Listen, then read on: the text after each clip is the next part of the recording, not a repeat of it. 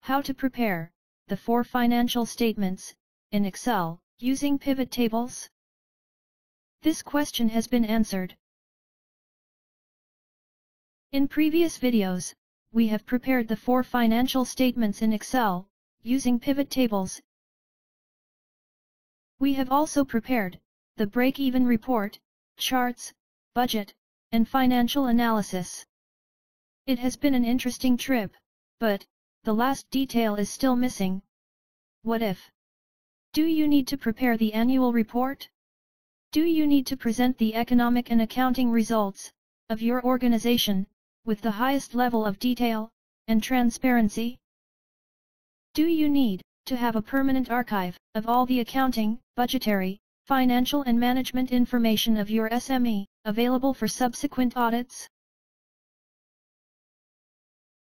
In this video, we will show you how to generate an annual report with this application. We will also comment on, four examples or tasks, which will reveal to us how, this application is an effective business analysis tool. Let us begin.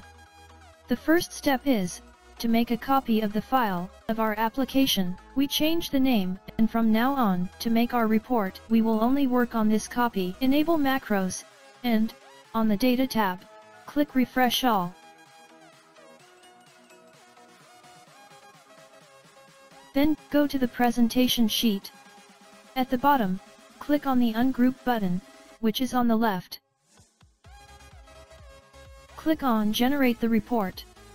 Write down the two passwords that will appear. Go up and unprotect the sheet.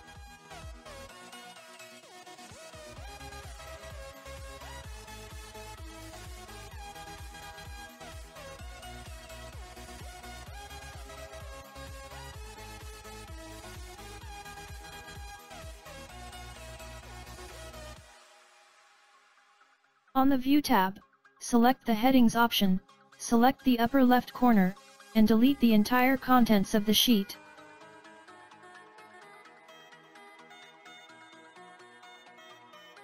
Then, you can write all the information concerning your annual report.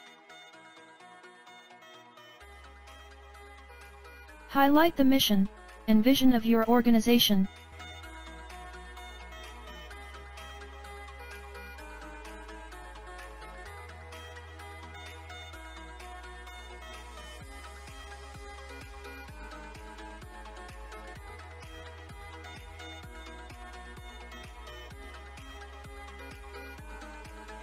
mention the objectives achieved during this fiscal year, as well as the objectives and goals set for next year.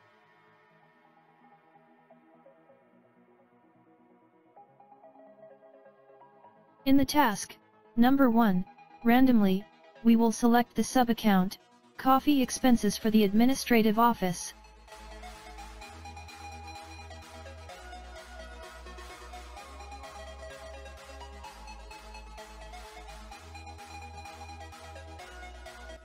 For most of the year, the expenses of this sub-account are around $190, but, in month 10, this expense doubled. In this situation, the question arises why? To answer this question, we will review the records of this sub-account.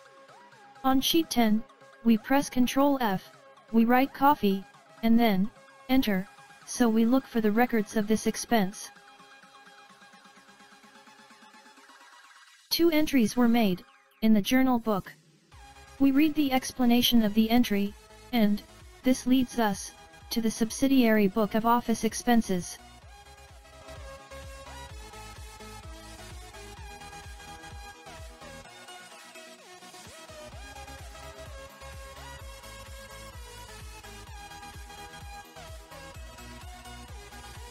In the month 10, coffee was bought twice.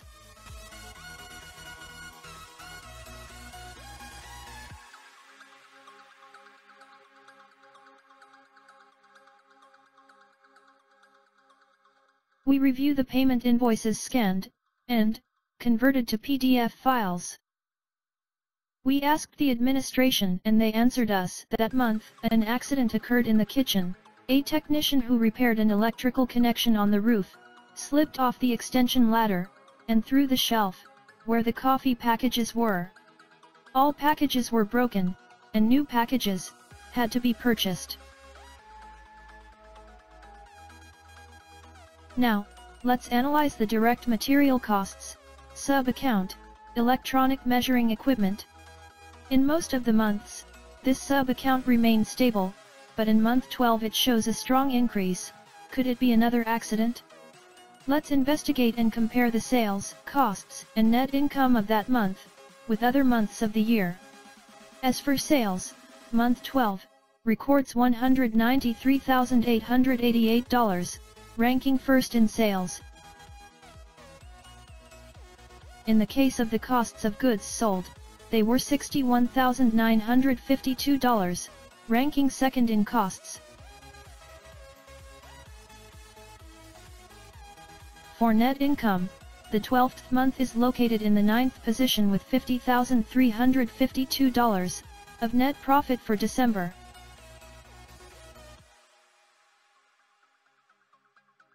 Let's see the partial income statement for month 12.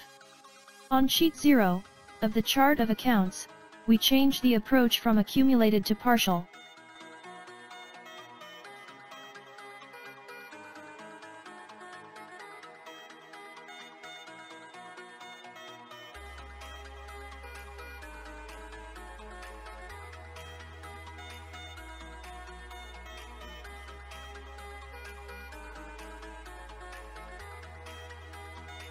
Then on sheet 1, Income Statements.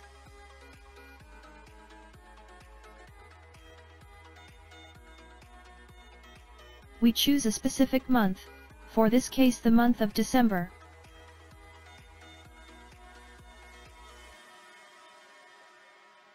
In the Data tab, click on Refresh All, and here, we have the partial statement of December results only. Now, we are going to determine the gross profit, of the electronic measuring equipment sub-account, so, we are going to know if the high level of costs, observed in December, decreased this profit margin.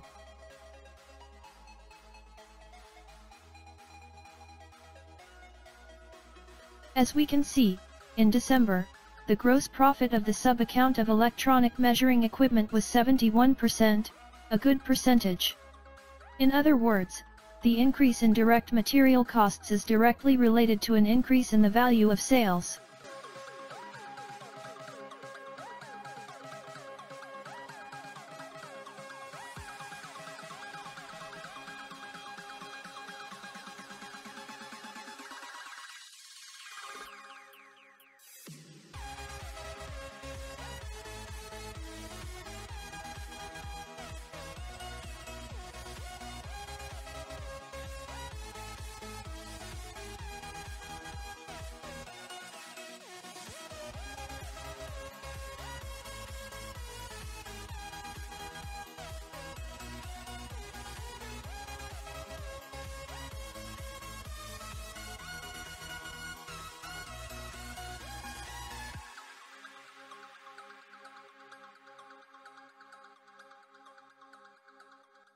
To have a broader perspective, let's determine the gross profit of electronic measurement equipment for the entire year. We go to the chart of accounts sheet, we change the approach to accumulated.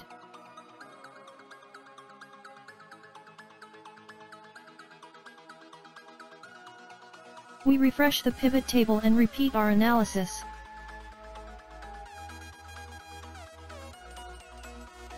But from an annual approach,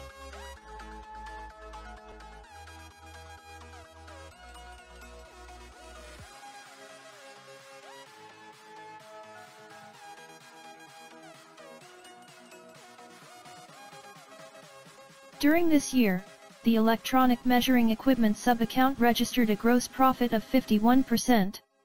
This confirms that the month of December, with of 71%, was very good.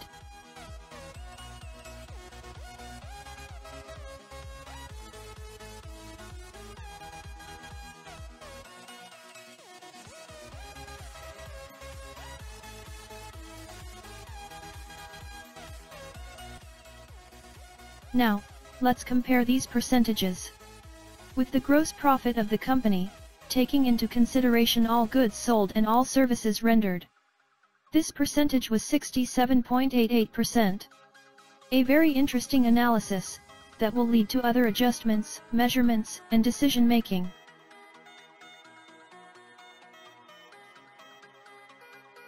Now, that we have completed our preliminary analysis, we will summarize all the information of our financial statement to a more usual level, select the necessary columns, go to the Data tab, and click on Group.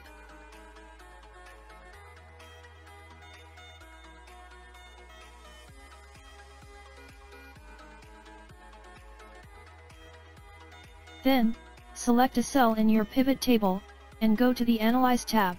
Then, in the Active Fields section, click on the minus sign.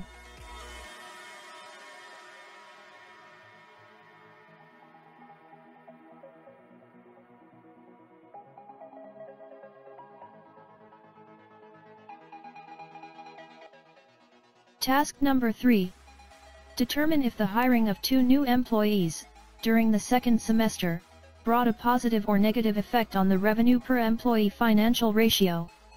On sheet C, we find more than 30 financial ratios, when you place the mouse on them, its concept and its formula are shown. All financial ratios are very important, but there is one that sometimes is not mentioned, the income per employee. In this example, a factory has 60 employees, but, from the sixth month of the year, it hires two more employees.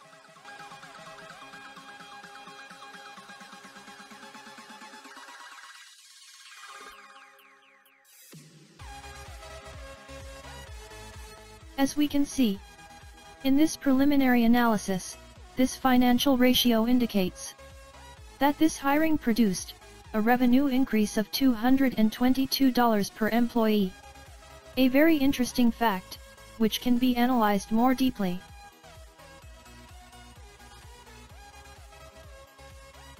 Finally, the analysis of cash, in bank accounts and in petty cash.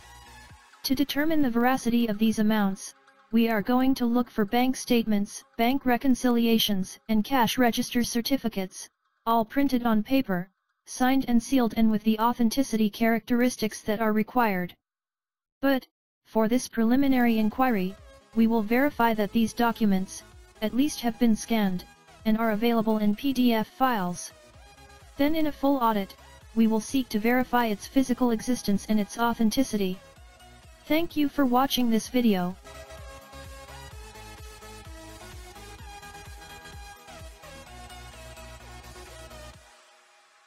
Thank you for watching this video, leave us your comments, visit us on Facebook, and give us a like.